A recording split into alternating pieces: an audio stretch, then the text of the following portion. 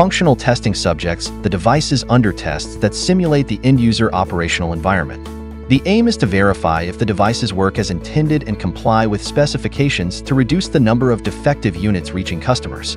Testing procedures can vary from pressing a button and observing an LED light up, or involve complex custom-made fixtures and test software.